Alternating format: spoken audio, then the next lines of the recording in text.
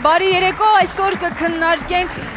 թոշակառուների, կենսաթոշակների հետ կապված խնդիրները եւ ինչպես բոլորս գիտենք, համաձայն Հայաստանի Հանրապետության օրենսդրության տարիքային կենսաթոշակի իրավունք ունեն 63 տարեկան դարձած եւ առնվազն 10 տարվա աշխատանքային ստաժ ունեցող անձինք։ Ընդամենը երկու ամիս առաջ բազմաթիվ թոշակառուներ Երևանյան կիզի ճարևիտակ սպասում էին հայ փոստի աշխատակիցների հստակ պատասխանին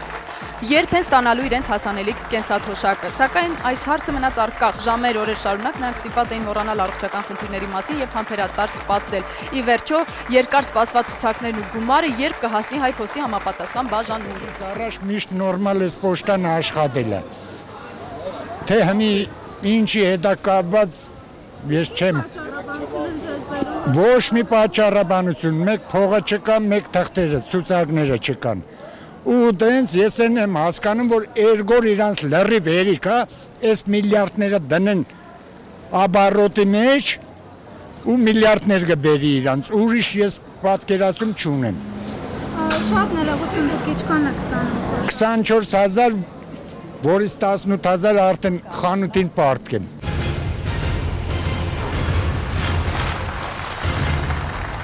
Սա իսկապես շատ ծանր հարց է մանավանդ այն բոլոր մարդկանց համար, ովքեր ապրում են թոշակի հույսին, իսկ այդպիսիք ցավոք սրտի քիչ չեն։ Այսօր մենք կքննարկենք թե ինչն էր անհանգստության պատճառը եւ ընդհանրապես որքանով է բավականացնում 28-ից 29000 կենսաթոշակը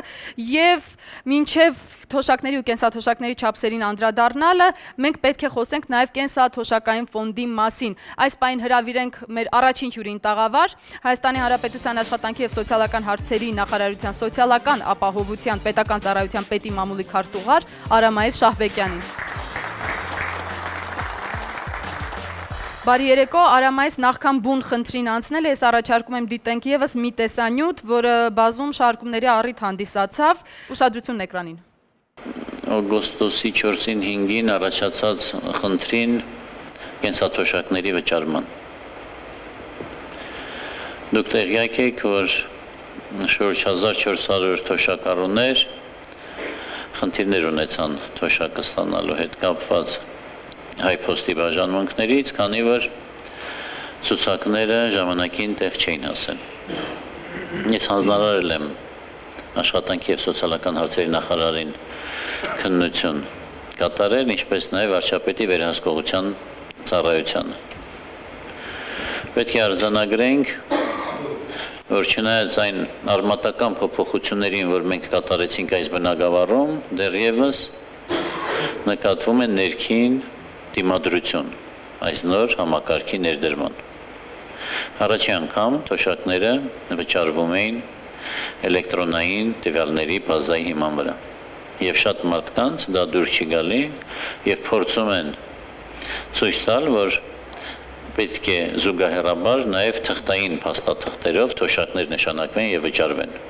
Հասկանալի որ հենց կոռուպցիոն ռիսկերը առաջանում էին թղթային ձևակերպումների ժամանակ, երբ որ ամբողջական վերահսկողություն իրականացնելը դառնում էր չափազանց դժվար։ Սեպտեմբերին մենք հրապարակային կներկայացնենք, թե ինչպիսի չարաշահումներ են արկա եղել համակարգում եւ ինչ եղանակներ էին օգտագործում փող աշխատելու համար անօրինական ձևով։ Մենք դիտեցինք 2013 թվականի օգոստոսի 8-ին կառավարության նիստից մի հատված, որտեղ ինչպես եւ տեսանք վարչապետ Տիգրան Սարգսյանը գլոբալ առումով կարող ենք ասել ներողություններ խնդրում պատճառված անհարմարությունների համար։ Արամայիս ես հուսով եմ դուք կոմպետենտ եք այն բոլոր հարցերում, որոնք մենք պատրաստում ենք ձեզ ուղղել, որովհետև խոսակցությունը թեթևներից չի լինելու։ Միանգամից հարցս այսպեսին է. հնարավոր չէր այնպես լուծել այդ բոլոր խնդիրները ցուցակային ցուցակի խնդիրները ընտրություններից սկսած ինչ որ արկախ են, հա, մեր միջավայրում։ Հնարավոր չէր արդյոք այդ խնդիրները նախապես այնպես լուծել, որ เป զի թոշակառուն, որ իրոք ապրում է այդ 24-ից կամ մինչև 29000-ի հույսին, չկանգներ էր այդպիսի իրավիճակի արչև։ Ուզում եմ մանրամասնեմ, հունիս ամսմանից սկսած կենսաթոշակների վճարման ցուցակները սկսեցին տպագրվել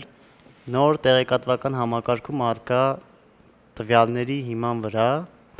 որտեղ բացառվում են այն մարդկանց անունները վճարային ցուցակներ, ում տվյալների մեջ կային որոշակի անճշտություններ։ Իսկ անճշտությունները տարբեր էին։ Ուզում եմ մի քանի օրինակ նշեմ։ Օրինակ անձնագրային տվյալների անճշտություններ, հասցեի անճշտություններ, չոր հանային ծառայության համարանիշի հետ կապված անճշտություններ, իսկ այն մարդկանց տվյալները, որոնք ունեն ճշգրտման կարիք, բացառվում է, այսինքն համակարգը ինքը թույլ չի տալիս, որ այդ մարդկանց անունները ընդգրկվեն կենսաթոշակների վճարման ցուցակներում։ Սոցիալական ապահովության պետական ծառայությունը ամեն ինչ արեց, որ վճարային ցուցակները հասնեն փոստեր, փոստերի տարածքային բաժանմունքներ ամսվա 3-րդ աշխատանքային օրը, իսկ դժգոհությունները առաջացել էին նրանից, որ մարդկանց սպասելիքները որ երկրորդ աշխատանքային օրներ, հա, բավականին ժամանակ կենսաթոշակները վճարվում էր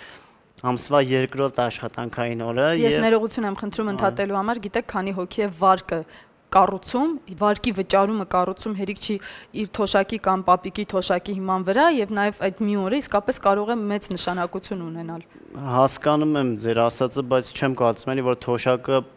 հայրենիքը կամ պետությունը տալիս է թոշակառուին չոր վարկ փակելու համար, էլի թոշակը ծերությունը ապահովելու համար է։ Դու կարծում ես 29000-ը ապահովում է ծերությունը։ Համենայն դեպս խեղճ մարդիկ։ Դա մեր ժառանգված բաշխողական համակարգից է գալիս։ Արամ այս եւս մեկ հարց։ Դուք նշեցիք, որ տվյալների անճշտությունների արդյունքում ավտոմատ կերպով այդ հասցեն կամ տվյալ մարդ չէր մտնում ցուցակի մեջ, ճիշտ հասկացա թե ոչ։ Չէ՞ որ մինչև այդ ցուցակները կազմվում էին մարդկանց օգնությամբ։ Այո։ Այսինքն մարդկային գործոնը ցավոք սրտի հաճախ լինում է սխալական։ Հիմա ենթադրենք ինչ որ մի թոշակառուի տվյալը սխալ գրանցվելու արդյունքում այդ թոշակառուն այդ օրը ցուցակով չի ստացել իր թոշակը, ճիշտ հասկացա ես։ Ոչ ես փորձեմ մանրամասնել ինչու ներկայանում խնդիրը նախկինում երբ կենսաթոշակային վճարման ցուցակները կազմվում էին թղթային ձևակերպումների հիման վրա այնտեղ կար կոռուպցիոն ռիսկ այսինքն մարդկային գործոնը կարող էր ազդել մարդկանց որոշումների վրա իսկ հիմա որևէ մեկը որոշում չի կայացնում որոշումը կայացնում համակարգը եւ համակարգը ինքը ասում է տվյալ մարդու տվյալների մեջ կա անճշտություն, ես իրան չեմ կարող մտցնել վճարային ցուցակներ։ Իսկ նախկինում, երբ դա ձեռքով հնարավոր էր ուղղել, դեղ մենք կարծում ենք, որ կար կոռուպցիոն ռիսկ։ Եվ նոր տեղեկատվական համակարգը եկել է այդ խնդիրը լուծելու։ Լավ։ Հիմա ուզում եմ հասկանալ ինչպես է տեղի ունենում այս համակարգին անցումը։ Սա արդեն նախապես որոշած էր, որ հենց այս ամառային փուլում պետք է արվի, որ เป զի հանկարծ եթե ուշացումներ լինեն, խնդիր չլինի, թե Ոչ, համակարգը տեղադրվել է, այսինքն համատեղ աշխատել են նախքին տեղեկատվական համակարգի հետ մոտ 1.5 տարի, հա, 1 տարուց ավելի է։ Նախքին համակարգում եղած տվյալները ընդգրկվել են միգրացիայի, հա, մեր լեզվով ասած միգրացիայի արդյունքում, այսինքն մի տեղից վերցրել են դրել նոր համակարգում։ Իսկ 2011 թվականի երկրորդ կեսից սկսած բոլոր թոշակառները, որոնք նոր են դարձել թոշակառու, նրանց տվյալները արդեն իսկ միանգամից ընդգրկվել են նոր տեղեկատվական համակարգում։ Այսինքն, երբ համակարգը սկսի կայուն եւ լիարժեք գործել, սխալի հավանականությունը, ուշացման հավանականությունը հասնում է մինիմումի։ Գիտեք, համակարգը արդեն գործում է, որովհետեւ միայն նոր համակարգի միջոցով է տպագրվում։ Մենք տեսանք ինչպես է արդեն գործում։ Ոչ, մենք աշխատանքներ են կատարում եւ վարչապետն էլ ինչպես նշեց, սեպտեմբեր ամսվանից կփորձենք, աշխատենք վճարենք ամսվա հնարավորինս շուտ, երևի երկրորդ աշխատանքային օրը, որովհետեւ մարդկանց սպասելիքները բավարարվեն։ Շնորհակալություն Արամ այսի տոնը այսպես հանգստացնող, հանգիստ մի նյարդայնացեք, լավ է որ ես դեռ թոշակ չեմ ստանում, թե չպատկերացնում եմ իմ վիճակը։ Եկեք այս պարագային հրավիրենք մի մարդու, որը չնայած վաղուց թոշակառուի շեմն անցել է, բայց շատ առույգ է եւ անսահման էներգիայով լի, ազգային ժողովրդավարների դաշին կուսակցության նախագահ հանրային խորհրդի անդամ Արշակ Սադոյան։ Եվ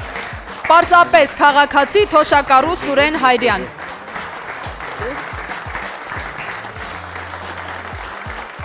Պարոն Սադոյան քննարկում ենք հենց մի քանի ամիս առաջ այդ թոշակառուների այդքան սպասվելիք թոշակի ուշացման հարցը, հետաքրքիր է ձեր տեսակետը այս կապակցությամբ։ Ճիշտ ասած, եւ նոր համակարգի ներմուծման ասեմ Էդևյալը շատ ցավալի է, որ այսպես ընդունված շափով մենք Մերգելյան ինստիտուտ բան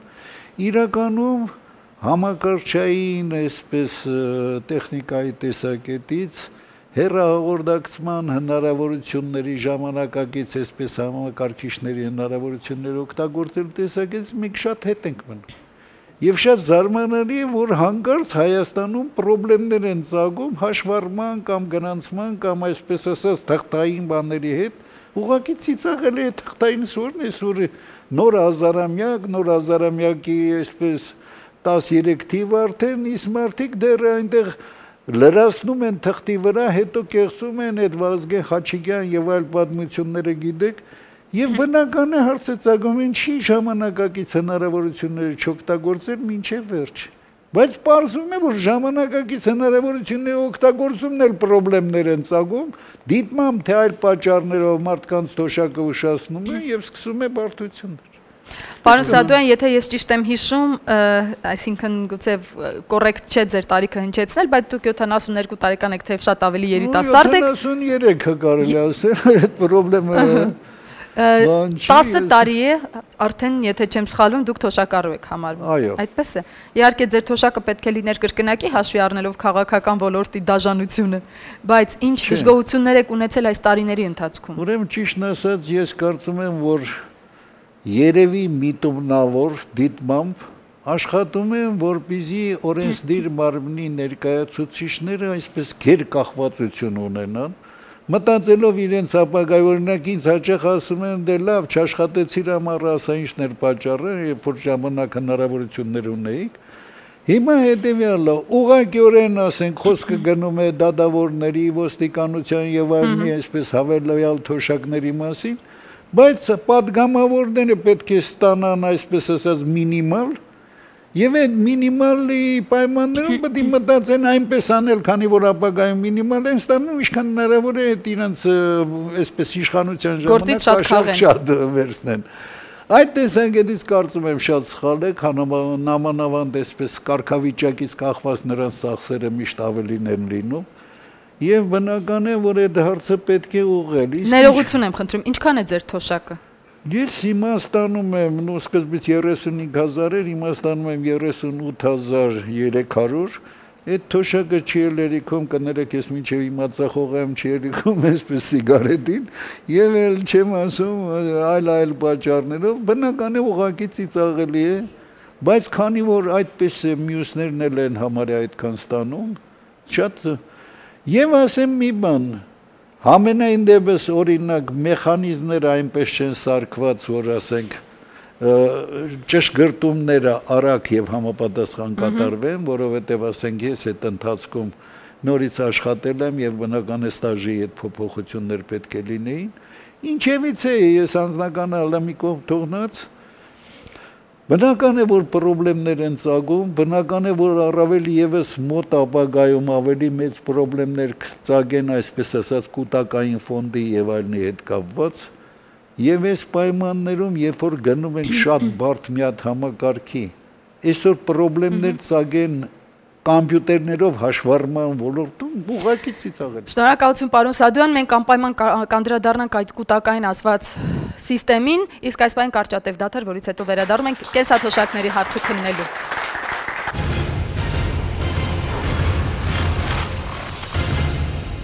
Բայց կան նրբություններ, որոնք հաշվի չեն առնվել Հայաստանում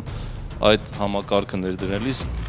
հասկացանք, չի կարելի ժողովրդին տես խապել։ Մենակ խոսանք, այս ամեն ինչը լավ է, նորմալ բանակ, նորմալ եսի բուժօգնություն նորմալ է, չի կարելի խապել ժողովրդին։ Եվ ենել եթե մեռնես, հետի փաստորեն քո ժառանգներին չի ասում։ Շնորհակալություն թեմայից չշեղվենք։ Չի կարելի։ Այդ 60 միլիոն դոլարը թոշակառուներին փոփաշանեն։ Հիմա ուզում եք ասեք, այն 10%-ը հակ չի, ո՞նց 10%-ը հակ չի, այն մարդը ուզում է ինքը հավաքի իր վրա իր ուզածով ծախսի։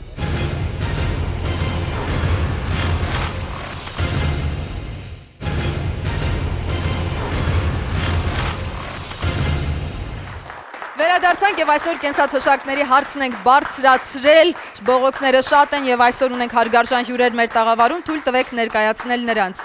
Հանրային խորհրդի ֆինանսատնտեսական եւ բյուջետային հարցերի հանձնաժողովի նախագահ Վազգեն Սաֆարյան։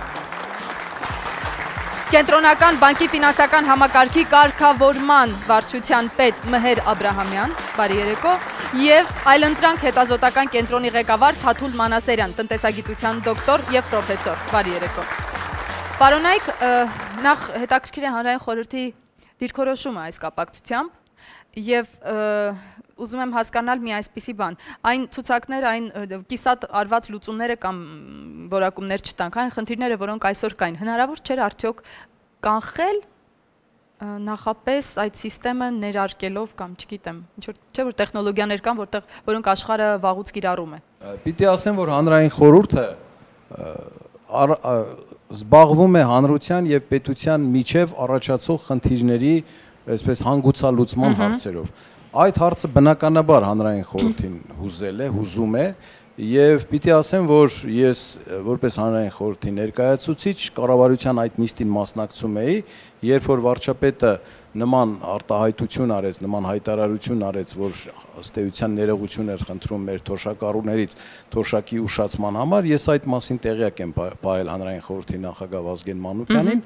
եւ նա զրուցել է վարչապետի հետ, բնականաբար եւ մեզ հավաստիացրեցին, որ խնդիրը զուտ տեխնիկական բնույթի է եւ ապագայում դրանք չեն կրկնվելու եւ դա առաջի անգամ է, որ այդպիսի գործընթաց տեղի ունեցավ, հետագայում բացառելու պայմանով անպայման։ Ինչ վերաբերում է թոշակների այդ վիճակին, այդ չափին, որը բնականաբար մեծ դժգոհություն է առաջացնում, մենք կարծում ենք, որ պետք է պետության տնտեսության արդյունավետությունը բարձրանա, որpիսի մեր թոշակներն էլ բարձրանան։ Այսօր մեր պետական բյուջեի ծախսային մասի 34%-ից ավելին գնում է կենսաթոշակների վճարմանը, դա 300 միլիարդ դրամից ավելի է, դա երկու անգամ ավելի է, քան կրթությանը հատկացվող միջոցները, 3 անգամ ավելի, քան առողջապահությանը հատկացվող Բնականաբար այս ծանր բեռը, որ պետության ուսերին է, որպես թոշակառուներին թոշակ վճարելու, մի ճանապարհ կա թոշակների բարձրացման։ Պիտի բարձրացնենք մեր տնտեսության արդյունավետությունը։ Պետք է արձանագրել, որ այս տարվա հուլիսի նախորդ տարվա հուլիսի համեմատ գնաճը Հայաստանում կազմել է 8.5%։ Այն պարագային, երբ թե աշխատավարձները եւ թե մասնավորապես թոշակները մնացել են նույնը անփոփոխ։ Նու թոշակները մի փոքր բարձրանալու են, իհարկե, տարվա վերջին, կարծում եմ։ Ապակա բայց բայց ինչքան էլ որ բարձրանան դրանք էական նշանակություն չեն կարող ունենալ մարդու կենսապահովման համար այդ իմաստով մենք այն կարծիքին ենք եւ կառավարության հետ որոշակի աշխատանքներ տանում ենք արդյունաբերական քաղաքականության արդյունավետ զարգացման ուղղությամբ արտահանման խթանման քաղաքականության զարգացման ուղղությամբ արդյունաբերության հիմնադրամի արդյունավետ օգտագործման ուղղությամբ, որի արդյունքում հնարավոր է էական փոփոխություններ լինեն մեր տնտեսության մեջ եւ դրա արդյունքում կլինեն ռեալ մուտքեր բյուջե, որի արդյունքում էլ կարող է կենսաթոշակները բարձրանալ։ Դուք շատ լավատես մարդ եք, պարոն Սաֆյանov, շնորհակալություն։ Ես կարծում եմ, որ այս ճանապարհը մեզ համար այլընտրանք չունի, մենք պետք է Պարոն Մանասերյան, ինչ է կարծում որպես տնտեսագետ, հնարավոր է արդյոք վերցենք միջինը, հա, առավելագույնի ու նվազագույնի միջև 29000-ով հնարավոր է արդյոք ապրել ամսվա կտրվածքով։ Թոշակառուն կարող է ապրել։ Ես կարծում եմ կսխալվեք, եթե ինձնից այո պատասխան ակնկալեք, ավելի հստակ ուզում եմ ձեզ ասել, որ շատ մտահոգիչ խնդիրներ էստեղ կան։ Համակարգը, որը ձևավորվում է Հայաստանում, կարելի ասել արդեն աշխատում է, հիմնված է իմ գործընկերներից շատ հայտնի պրոֆեսոր Խոսե Պինյերայի ծրագրի վրա, որով տասնյակ, մի քանի տասնյակ երկրներ այսօր ունեն բավական արդյունավետ համակարգեր, ընդ որում նաև զարգացած երկրներ, ոչ միայն զարգացող երկրներ, բայց կան նրբություններ, որոնք հաշվի չեն առնվել Հայաստանում այդ համակարգը ներդրելիս եւ և Տեսեք, կան մտահոգիչ թվեր, առայն որ եթե ընդամենը 1-2 տարի առաջ կես միլիոնից ավելի կենսաթոշակառուներ էր սպասարկում պետությունը, ապա ուշադրություն դարձեք. 2020 թվականին, 2025 թվականին նրանց թիվը 400 հազարից ավելի մոտ 400 հազարի շուրջը լինելու եւ գնալով նվազելու է։ Սա խոսում է այն մասին, որ բեռը երիտասարդ մարդկանց ուսերին շատանալու է հարկային բեռը, նաև կենսաթոշակային միջոցները, որոնք պետք է ձևավորվեն եւ պետության հետ միասին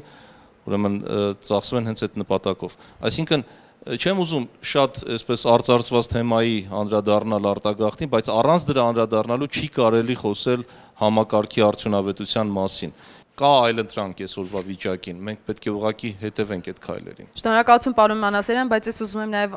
ասել, գուցե դա իմ սուբյեկտիվ դիտարկումն է, որ 62-ի շեմն անցած մարդիկ, շատ մարդիկ շատ աշխատունակ են ու մենք հստակ ունենք նրանց կարիքը որպես մասնագետի, բայց օրենքով կենսաթոշակառու։ Բայց օրենքով նրանց այլևս թույլատրելի չէ այդ աշխատանքը եւ հաճախ նրանք գնում են հարկադրված թոշակի։ Այսինքն բնական է այդ երկու կոպեկը նրանց ոչինչ չի կարողանել, բայց աշխատազուրկ, գործազուրկ դառնում են։ Այս բանին ես առաջարկում եմ դիտել եւս մեկ տեսանյութ, լսենք հենց թոշակառուների կարծիքը։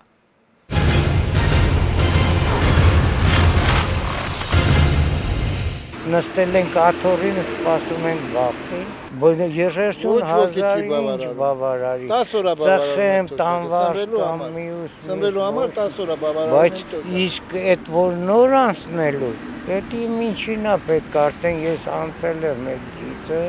դա ինձի պետք չի։ Ես օրինակ մանկավարժ եմ, 54 տարվա մանկավարժ եմ, չեմ աշխատում, ստանում եմ 50000 թոշակ, դա ուրիշ բան չկա, բայց դա հնարավոր չի տալիս, որ ես նորմալ կարողանամ։ Հեսա վերահայտություն եմ տալիս, չգիտեմ թե ոնց ընկերներից եկել եմ, այդները խոսում են վայրը։ Ես գտնում եմ, որ պետությունը պետք է մեծ ուշադրություն դարձնի թոշակառուներին։ Գազը թանկացավ, ուրեմն ամեն ինչ դրա հիմա վրա թանկացավ, բայց թոշակը մնաման նույնն է։ Ոչ մի կոպեկ չեն ավելացել։ Այդ ջերի տանք, լույսի տանք, դեղի տանք, ինչի տանք։ Դե ինչի պետք է բավարարի 56000-ով կարող ես ինչ որ ես ձևի ապրեմ։ Ես արդեն 79 տարեկան մարդ եմ։ Տան վարձի ու բան լուսի փող, գազի փող չի բավարարում։ Չէ, ես չեմ ուզում այդ այդ բանը։ Ես ավելի լավ է գնում եմ փոշտից իմ թոշակը ստանում եմ։ Ավելի հանգիստ է տենց։ Այն քարտայինը մի քիչ բան է, մի օր մտցնում ես չկա, մի հատ քարտը տա ուտում, պետք է գնաս ցելի մարդ բերեց ես իմը որ բացի քարտ չէ, մի չունի։ Մեր մոտ հələ քարտայինի համար շատ շուտ է։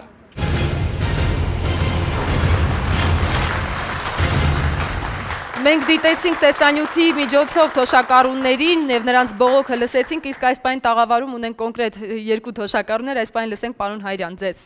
Մոտարապես 40 տարվա ստարժ ունեմ, որի 30 քանի տարին ես աշխատել եմ խորհրդային միության ժամանակ։ Եվ գոհ եմ եղել խորհրդային միությունից, ոչ թե մենակ ես, այլ բոլորը։ Ընկեր Հայրյան, ստաժը աշխատանքային գրքույկում էիք, չէ՞ գրանցում։ Այո։ Ահա։ Իսկ հիմա պատկերացնում եք, այ կակրած որ եկել է, այսպիտի ասեմ։ Ասեք։ Հիմա դե ոնց է ստացվում ասենք բարձրաստիճան աշխատողները, ասենք չինովնիկները կարելի ասել, նրանցը հաշվում են ասենք եթե 600.000, 500.000, 400.000 նա աշխատավարձ ստացել, նրանցը 60-ից 70% Տես, եթե սա նորմալ պետություն լինի, նա պիտի քսի բռնի չի կարելի ձեի բանանած։ Խորթային միության օրոք, դες բան չի եղել։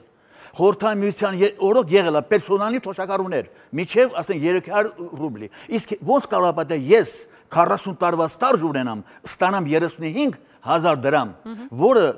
օրը 3 կիլոյի հաց, ցամաք, ուրիշ ոչ մի բան։ Եթե որտեղ հացի կիլոնը չենք իմանա, ինչքան է։ 4 հատ մատնակաշ առնում ես 1200 դրամ ես տալիս քաշում բարա այդ մեկ իսկ նորս դեռ խոս ասում Հայաստանում թոշակը ինչ ոնց կարան ավելացնեն ինչքան ինչքան ավելի լավ գիտեք դուզը ճակատին նայենք ճիշտ խոսանք Հայաստանում եթե միջև երկաթյա կարգու կանոն չեղավ երկաթյա սկսած ամենից ցածր աշխատողից վերջացած հանրապետության առաջի դեմքով իսկ դա մոտակա տասնամյակներում, եթե այս ձևի շարունակի, դա չի լինելու։ Մենք սիրում ենք բոլորս, տես ջայլ տղաներ են ստաց։ Էլի ես ասեմ, ստանում եմ 35000 որտեղ այդ ժամանակ խորտային միության, այդ ստարժը այն ժամանակ, իսկ տես նայում ես ջայլ աղջիկերք են, ջայլ տղերք են, կարող է ամեն մեկը ինչ որ տե ձևակերպած պիտի աշխատի, բայց չի գրանցվում թոշակառուի ֆոնդը փող չեն ուղարկում։ Դա է գլխավորը։ Մենք սիրել ենք, ջուր ցեցենք ամբողջ Հայաստանում։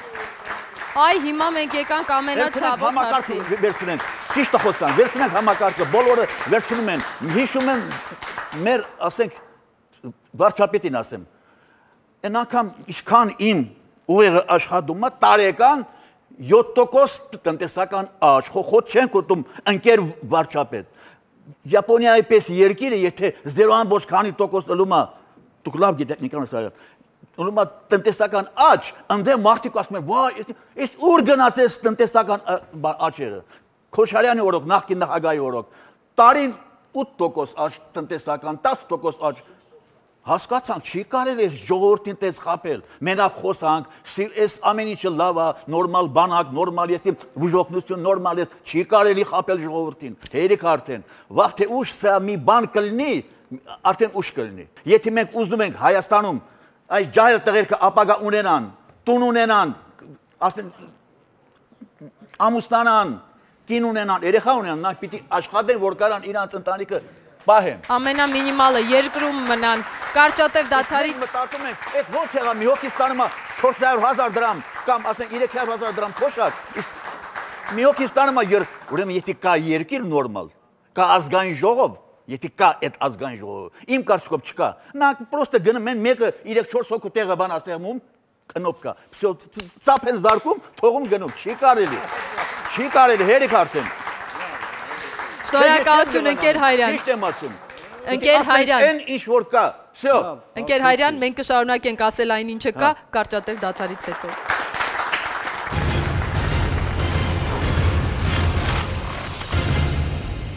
Եվ են էլ եթե մեռնես, հետի փաստորեն քո ժառանգներին չի ասում։ Շնորհակալություն թեմայից չշեղվենք։ Երկրում չի կարելի։ Այդ 60 միլիոն դոլարը փոշակառուներին թոբաշանեն։ Հիմա ուզում եք ասեք, այն 10%-ը հա- չի ո՞նց 10%-ը հարկ չի, այն մարդը ուզում է ինքը հավաքի իր վրա իր ուզածով ծախսի։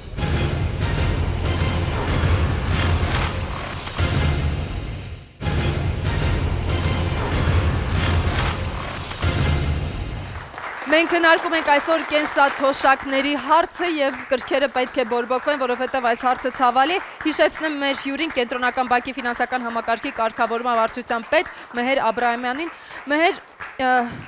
Ձեր թույլտվությամբ նայենք մի տեսանյութ, որն անմիջականորեն առնչվում է կൂട്ടակային համակարգին, հա, որի հետ կապված արդեն հարցերով անպայման կդիմենք ձեզ։ Համեցեք։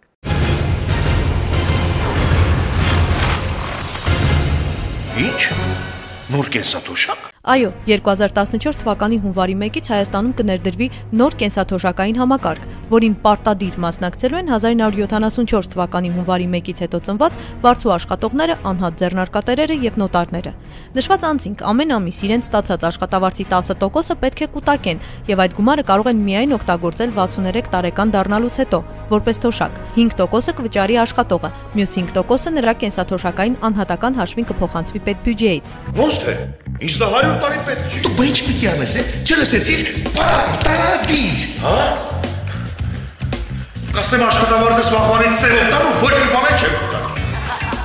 Սևով։ Բրավ։ Դու հանճարս։ Ամեն օր parberabar լսում կամ տեսնում ենք այս օրինակ տեղեկատվական հոլովակներ, ու չնայած 2014 թվականը սարերի յետևում չէ, բայց հասարակության մի մասը դեռևս անտեղյակ է։ Տեղյակ չեմ տեղյակել չեմ, չեմ մանամ ինչը ոնց է ցավը տանը։ Միշտ ասած տեղյակ չեմ, Չնայած կൂട്ടակային համակարգը դեռևս սահմանային փուլում է եւ նրա արդյունավետության մասին միայն կարող ենք խոսել 25-ից 30 տարուց հետո, այդուհանդերձ հասարակության մի մասն էլ լավատես է։ Լավ բան է դա, եթե երիտասարդ ժամանակ դու գումար ես կൂട്ടակում, արդեն հույսը պետության վրա է քիչ է լինում։ Միայն ինֆլյացիա չլինի, այդ գումարը դու հետո կարող ես ստանալ երիտասարդների համար արդյունավետ են դեպքում երբ բոլորը աշխատատեղեր ունեն ու աշխատեն։ Դեմ չեմ, որ ասենք հետագայում այդ ամեն ֆոնդը հավաքվի եւ հետագայում բարձր թոշակ ստանան եւ առհասարակ բոլորը։ Աստորեն ես ունենալու եմ իմ ու պետության կൂട്ടակացից բացի դրանց եկամուտներ ու մի հատել եկամուտներից եկամուտներ։ Ված չի։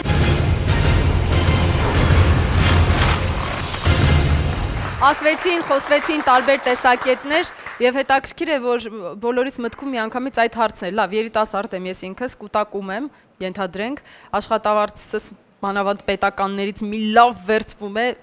ընդունում եմ, վաղը չէ մյուս օրը, հոպ, ինֆլյացիա եւ իդ տվեք մեր փողերը։ Կամ հեղաշրջում։ Թե ինչ որ մի տեխնիկական խոտան։ Ինչ է տեղի ունենում այսօր։ Այսօր բոլոր վարձու աշխատողները իրենց ստացած եկամուտներից վճարում են սոցիալական վճարներ եւ այդ ձևավորված գումարից ֆինանսավորվում է այսօրվա թոշակառուների կենսաթոշակները։ Եվ բնականաբար ինչքան կենսասոցիալական ապահովության վճար հավաքագրվում է պետության կողմից, դա բաշխվում է ներկայիս կենսաթոշակառուների միջև եւ դրա նույնիսկ այդ գումարը դեռևս չի բավարարում ներկայիս կենսաթոշակները վճարելու համար եւ դրա մի մասը վճարվում է պետության պետական բյուջեի մյուս եկամուտների հաշվին։ Այսինքն ընդհանուր առմամբ այսօրվա կենսաթոշակի մակարդակը սահմանափակված է մեր բյուջեի հնարավորություններով պետական։ Եվ այսինքն դա հիմնված է սերունդների համերաշխության սկզբունքի հիման վրա, որը ենթադրում է, որ այսօրվա աշխատողները, այսօրվա զբաղվածները վճարում են այսօրվա կենսաթոշակառուների կենսաթոշակները։ Ես երբևիցե դեմ չեմ որպես աշխատող վճարելու, եթե վստահ լինեմ, որ այդ գումարը իսկապես գնում է թոշակառուին։ Չէ, այդ գումարները իսկապես կենսաթոշակները վճարվող դա ձևավորվում է վճարված սոցիալական ապահովության վճարներից։ Բնականաբար դա վերաբերում է այն վարձու աշխատողներին, որոնք գրանցված են եւ հարկեր են վճարում, այսպես ասած։ Մի հարց կարող եմ տալ։ Գյուղացին չի գրանցվում եւ փաստորեն թոշակառու չի համարվում։ Գյուղացու կարգավիճակ այսօր թույլ չի տալիս գրանցվել պաշտոնապես եւ օգտվել կൂട്ടակային համակարգից, որտեղ նա ըստ էության ունենալով հողակտոր համարվում է արդեն զբաղված, նույնիսկ գործազուրկների մեջ հաշվի չեն առնում գյուղացիներին եւ սրանով հնարավորություն չի ստեղծվում հետագայում թոշակի արդեն անցնելիս ստանալ կամ ակնկալել եկամուտներ, որոնք կարող է հարիր լինեն կամ բավարար լինեն կյանքը ուրեմն նվազագույն պայմանները բավարարելու համար։ Շնորհակալություն պարոն Մանասյան։ Հեշտ շարունակեք։ Հիմա ինչ է ենթադրում նոր կൂട്ടակային կենսաթոշակային համակարգը, ուրեմն դա ըստ էության հիմնված դրա հիմքում ընկած է այսպես կոչված արդարության սկզբունքը, որ յուրաքանչյուր աշխատակից իր աշխատանքային գործունեության ընթացքում իջ ստացած եկամուտներից կատարում են որոշակի վճարումներ եւ որոնք հետագայում այդ վճարված գումարներից արդյունքում հետագայում որպես կենսաթոշակառու ինքը ստանալու է կենսաթոշակ Դա ենթադրում է արդյոք, որ այն մարդը, ով ունենում է շատ մեծ եկամուտ եւ հետեւաբար վճարում է առավել շատ, քանզի եկամուտն ավելի մեծ է, կարող է ակնկալել ավելի բարձր թոշակ հետագայում։ Ըստ էության այո, որովհետև դրանով էլ պայմանավորված է անվանումը, որ արդարության սկզբունքն է, քանի որ կൂട്ടակային կենսաթոշակային համակարգի միջոցով նաև ապահովում է ուղակի կապը ձեր ստացած եկամուտների եւ ապագա կենսաթոշակի միջև։ Մի տխուր հարցել տամ, եթե հանկարծ այդ նույն կൂട്ടակողը Աստված չանի մի ճանապարհի կեսից այո հոգնում է եւ գնում է այն աշխարհ։ Արդյոք դա փոխանցվում է նրա ժառանգներին կամ որևէ կերպ կանխիկացվում է։ Այո, միանշանակ, եթե օրինակ մարդը մահանում է մինչև կենսաթոշակային տարիքը լրանալը, ապա այդ գումարները փոխանցվում են նրա ժառանգներին եւ ժառանգները իհարկե կարող են տնօրինել այդ գումարները իհարկե։ Ժառանգներին որպես հետագա կենսաթոշակային թե ուղղակի այդ մարդիկ գնում են ստանում են այդ։ Այ հետեւյալ մեխանիզմ է գործում, կուտակված գումարի մի մասը միանվագ վճարի տեսքով կարող է փոխանցվել ժառանգներին հենց այդ ժամանակ, երբ որ մահանում է մարդը։ Հիմնական կենսաթոշակի 25 պատիկի չափով, եթե չեմ սխալվում։ Իսկ մնացած Ներողություն, մի րոպե ճշտենք։ Մարդը աշխատել է իր աշխատանքի, ասենք, լավ, շատ մեծ վարձատրվել է, իր աշխատանքի ինչ որ տոկոսը մուծել է այդ կուտակային ֆոնդին։ Այո։ Եվ այդ մարդը մահացել է։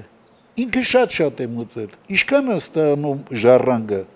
Նրա ընդունված այդ օրվա կեսաթոշակի չափի 25-ը պատիկը, թե այնքան ինչքան մուծել է, կամ նրա տոկոսը։ Ներողություն 25-ը պատիկը ստանում է միանվագ, 25-ը պատիկը այդ պահին թոշակառուների։ Այո։ Պաշտոնական թո, բայց ի՞նչ կապ ունի նրա կուտակացի հետ։ Չէ, տրամաբանությունը հետեւյալն է, որ այդ հավաքագրված գումարի կամ կեսաթոշակային ֆոնդի մի մասը տվյալ պահին փոխանցվում է ժառանգներին մի մասը, իսկ մնացորդային մասը ամբողջությամբ փոխանցվում է ժառանգների կենսաթոշակային հաշիվներին։ Այսինքն էլի նրանց չի փոխանցվում։ Նրանց կփոխանցվի նրանց կենսաթոշակային տարիքը լրանալուց հետո։ Այն դեպքերում, երբ որ օրինակ մարդը մահանում է եւ մարդը չունի ժառանգներ, 3 տարի դեռևս շարունակվում են այդ միջոցները կառավարվել համապատասխան կառավարիչների կողմից եւ եթե օրինակ 3 տարվա ընթացքում ի հայտ չեն գալիս այդ տվյալ անձի ժառանգներ, ապա այդ գումարները փոխանցվում են պետական բյուջե։ Մհեր 88-ից մինչև 2013 թվական կարելի ասել 4 համակարգ է փոխվել թե կառավարական, թե ընդհանուր։ Որքանով է երաշխիքը, որ 25 տարի անց այս համակարգը կլինի գործող կամ այդ ֆինանսները կլինեն լավ առումով անձեռնմխելի օտար ձեռքերի համար։ Ուրեմն մի շարք մեխանիզմներ կան, որոնք ուղղված են այդ հնարավոր ռիսկերը զսպելու։ Իհարկե որևէ բացարձակ ճշմարտություն կամ բացարձակ արժեքներ այս պահին չկան։ Բնականաբար այսօր իրականացվում է բարեփոխում, որի պտուղները, այսպես ասած, մենք 23 տարի հետո ենք տեսնելու, ասենք ամենամեծ տարիքով մարդիկ, որ մասնակցել են ռեֆորմին, դա 40 տարեկանում են մտնելու այդ համակարգ եւ առաջին պտուղները, այսպես ասած, 63 տարեկանում են քաղելու։ Իհարկե պետք է հուսալ, որ ապագայում քաղաքականություն իրականացնողները եւս խելամիտ կգտնվեն եւ այս ռեֆորմը արդյունավետ իրականացման փուլը նույնպես կիրականացվի, բայց բնականաբար տնտեսագիտության մեջ կարճաժամկետ ռեֆորմներ շատ քիչ են, բոլոր ռեֆորմներն ավելի երկարաժամկետ են եւ կարող եմ ասել, որ սա տնտեսական զարգացման, տնտեսության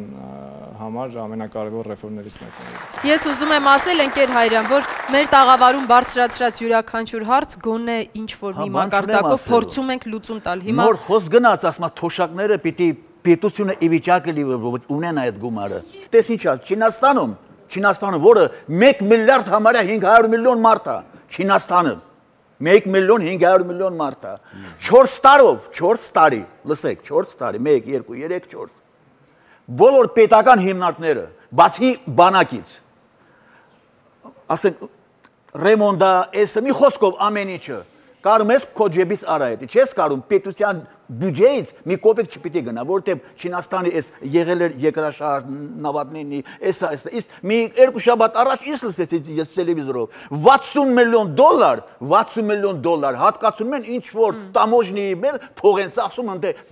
Ընկեր Հայրյան, շնորհակալություն թեմայից չշեղվենք։ Ահա չի կարելի։ Այդ 60 միլիոն դոլարը թոշակառուներին թոբաժանեն։ Մեր քանի որ հասկացանք, որ համակարգը կարող է լինել հետաքրքիր, բայց նաև շատ խնդրահարույց է, ես վախենում եմ, որ սա հետագայում եւս մի բողոքի ալիք չառաջացնի։ Ուղղակի մի այսպիսի կոնկրետ հարց. Պարտադիր կൂട്ടական կենսաթոշակային ֆոնդերի կառավարչի լիցենզիա ստանալու հայտով առ այսօր քանի ընկերություն է ձեզ դիմել։ Ուրեմն մենք մի շարք բանակցություն ենք վարել միջազգային հեղինակավոր ընկերությունների հետ եւ այս պահին 2-3 ընկերությունների հետ կարելի ասել գտնվում ենք լիցենզավորման նախապատրաստական փուլում եւ մոտարապես սեպտեմբեր-հոկտեմբեր ամիսներին մենք ունենանք ակտիվների կառավարիչներ լիցենզավորված կենտրոնական բանկի կողմից։ Շնորհակալություն, ես ուզում ասեք պարոն Սադոյան։ Ճիշտ ասած, ես լավ չեմ հասկանում հետեւյալը նախ միջազգային կառավարիչների հետ իհարկե այդ ողջունելի հաշվի առնելով կոռուպցիայի մակարդակը մեր երկրում, բայց մյուս կողմից միջազգայինը միջազգային։ Ես ուզում եմ հասկանալ հետևյալը՝ կൂട്ടակային ֆոնդ։ Մարդը կարող է առանցին իր համար հավաքի կամավորական բանկում սովետի ժամանակ բանը 9 միլիարդ ռուբլի բաներ կար խնայդրամարկներում Մարդը կարող է հավաքի իր փողը եւ այդ իր հավաքած փողը ծախսի իր վրա հետագայում թոշակի ժամանակ։ Բայց մարդուն ասում են, գիտես ինչ, դու բացի նրանից, որ ուզում ես հետագայում քու փողը քու վրա ծախսես, պետք է այդ փողը տաս ինչ որ կառավար չի, նա որոշի ինչքան տոկոսով ոնց, եւ այն էլ եթե մեռնես, դա փաստորեն քու ժառանգներին չի աստում։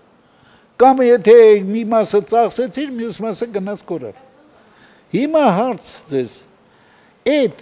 պարտադիր հատկացումները լինելու են եկամտահարկից դուրս, որովհետև ամեն մարդ իր աշխատավարձից կախված, եթե շատ աշխատավարձ ստանում, շատ էլ եկամտային հարկ կտալի։ Քիչ է ստանում, քիչ։ Կൂട്ടակային ֆոնդը եկամտային հարկի պայմանավորված թե առանցին հարկա լրացուցիչ փորձեմ բարձաբանել, ուրեմն պարտադիր բաղադրիչը, որը որպես կենսաթոշակային վճար պետք է վճարվի, դա վճարվելու է աշխատավարձից կամ դրան հավասարեցված այլ վճարներից։ Եկամտային հարկից դուրս, թե ոչ։ Կոնկրետ այդ հարցին պատասխանեք։ Անվանական աշխատավարձի 10%-ի չափով։ Ներողություն, եկամտային հարկը 24 կամ 26% մուծվում է։ Բացի դրանից 10% էլ լրացուցիչ։ Պլյուս թե ոչ։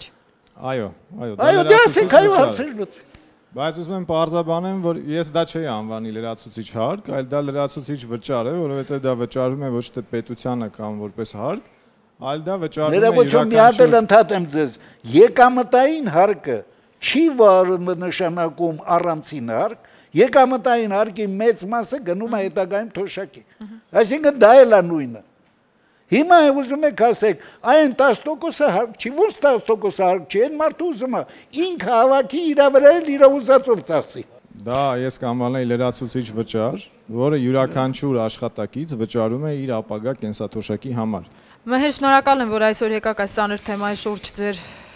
համակարգի մասին մանրամասներ հաղորդելու համար, սա իրականում նոր